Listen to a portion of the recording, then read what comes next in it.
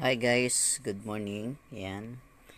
Ah ituturo ko sa inyo ngayon paano mag-edit o paano mag ah, maglagay ng mga kung ano-anong mga props sa inyong mga YouTube video para mas maging creative ka, maging maganda yung yung ipopost mo na video. Ah, ito gagamitin natin yung tinatawag na InShot. Eh. Una, syempre, kung wala ka pang InShot, ida-download mo siya. Since na meron na ako, ikang InShot. Yan. Tanggalin muna natin yung dating video. Click mo lang. Yan, discard muna natin. Yan, mga papansin mo, meron nakalagay na video. Click mo yung video. Ayan. Tapos syempre, kung meron kang kung meron ka ng ano, yung available na video, yun muna yung gagamitin natin. For example, ah ito na lang. Yan, lag- lagay mo muna yung video mo. Tapos i-check mo, makikita mo yung check, i-check mo siya. Yan. Para meron kang ano, para meron kang para meron kang yung tinatawag na opening o yung intro, kailangan may nakasave ka na. Then, i-click mo yung kulay green, the check. Yan, ito na yung video yung gagamitin natin. And then, para para mailagay mo yung, yung intro, i-click mo yung may plus sa gilid. Yan. Since na pipili ka lang kung may nakasi mas maganda mag-save ka na ng intro. Uh, For example, ito yung intro i-click natin.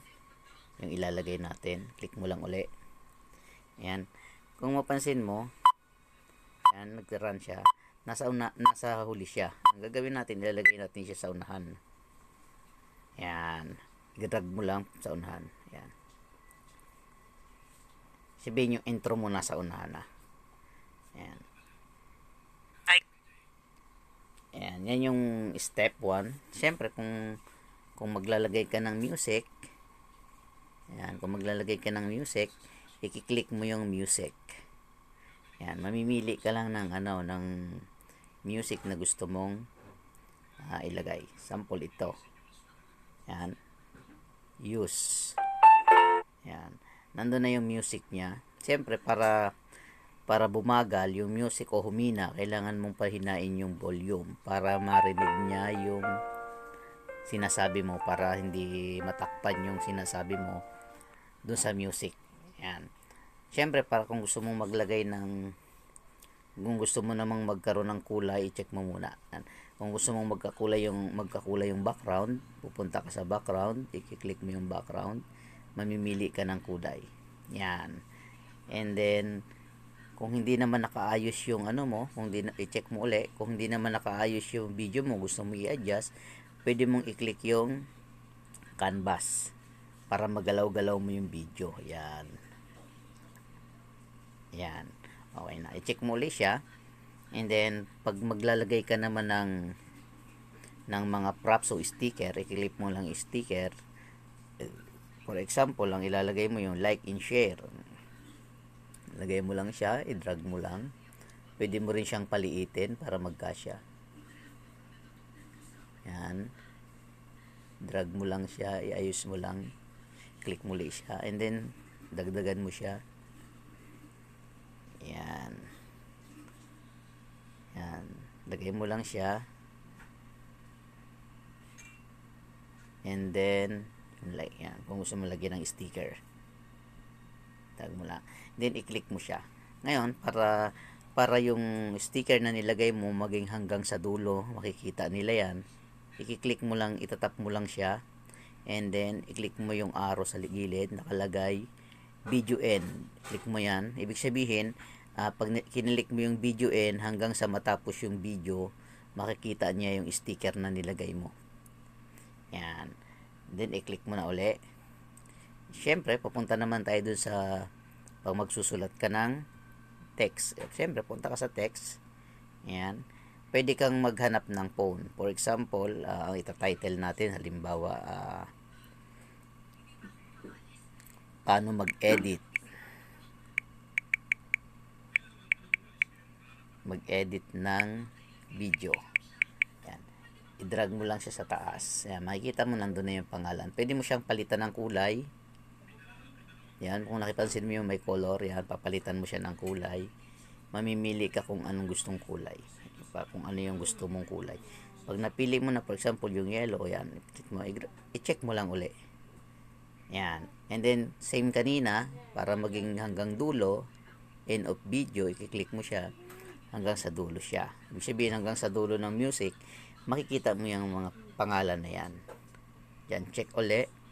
Yan, kung gusto mo naman na kung gusto mo naman na lagyan ng picture yung video mo sa gilid, uh, i-click mo lang yung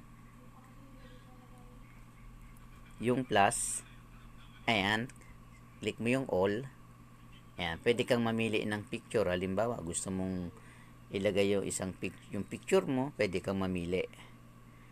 Ayan, depende. Halimbawa, ito na lang. For example, ito yung gusto kong ilagay. Ayan, magkakaroon siya. Madadagdag siya. Ayan, since ayaw mo naman, pwede mo siyang i-delete. Ayan. Ganun lang kasimple. Ayan, palitan mo yung kulay. Pwede rin. Ayan. Check uli. Ayan. Ganun lang kabilis mag-edit. And then, siyempre, isi-save mo siya kung okay na sa'yo yung ganyan isi-save mo siya yan save and then kadalasan ang ginagamit ko ay yung, yung quality niya is 720 para hindi siya ano pixelated para malinaw pa rin siya kung napapansin mo sa du sa taas makikita mo nagra-run na siya okay hindi ko na siya tatapusin kasi hahaba siya lang po yung video ko and maraming maraming salamat sana nakatulong sa inyo yung video yung ginawa ko. Thank you. Good morning mga friends.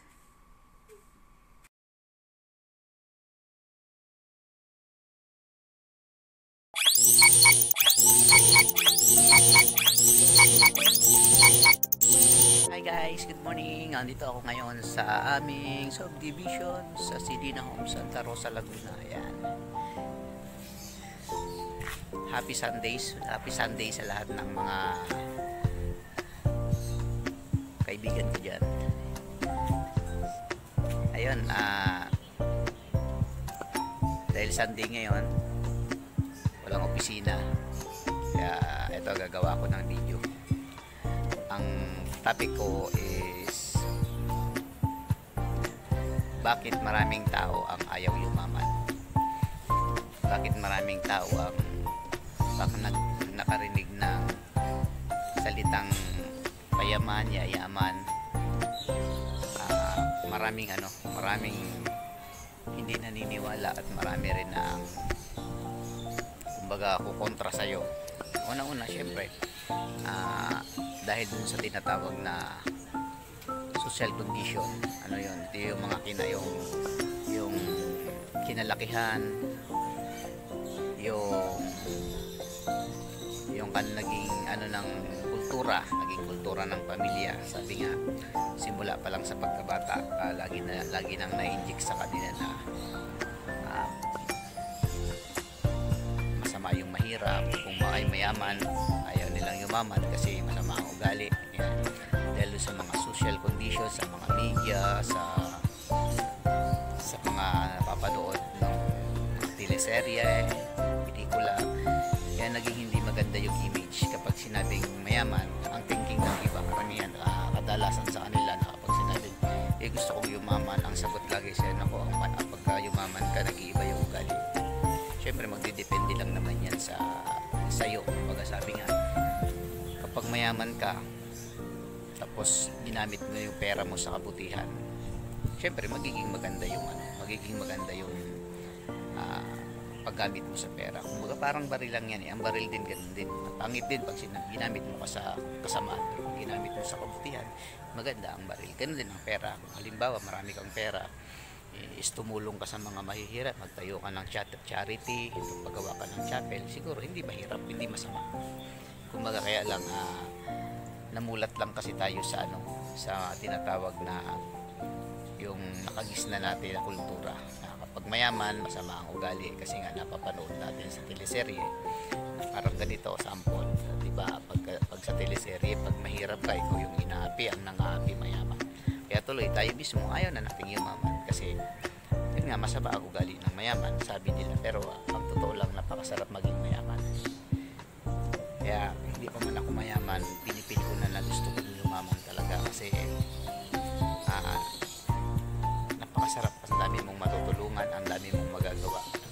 Sabi nga, if pinanganak ka o sinilang ka sa mundo, dinarate ka ni God na isang mayaman. Kasi nga, kung tatanungin ko, for sample na lang, ganito na lang, kung yung mata mo pa lang, hindi ka naman siguro papayag na ibibenta yung dalawang mata mo ng 10 milyon. Isang lim- limang milyon bawat isang mata. Siguro hindi ka papayag. Ibig sabihin ah mata mo pa lang milyon pala halaga talaga. Kumbaga walang walang walang fresh walang price. Kumbaga napaka napakamahal. Kaya huwag kang papayag sa ano na hindi ka maging mayaman. O huwag kang papayag na hindi ka mangarap. Kasi ang pangarap ang pangarap is isang isang way